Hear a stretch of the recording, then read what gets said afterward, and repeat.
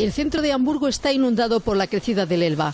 Con rachas de viento cercanas a los 120 kilómetros por hora, se ha paralizado el tráfico ferroviario en el norte y el este de Alemania.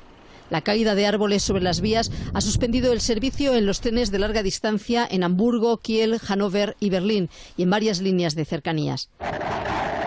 En la capital alemana los bomberos están en estado de alerta y en las zonas afectadas las autoridades germanas han aconsejado no salir de casa si no es imprescindible.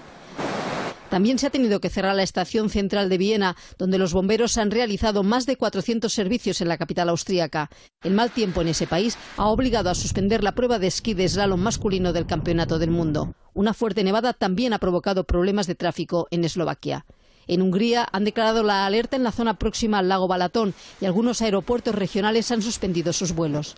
La tormenta de viento y lluvia que afecta al centro de Europa comienza a desplazarse hacia los Balcanes, donde el centro de Belgrado ha sufrido cortes de luz.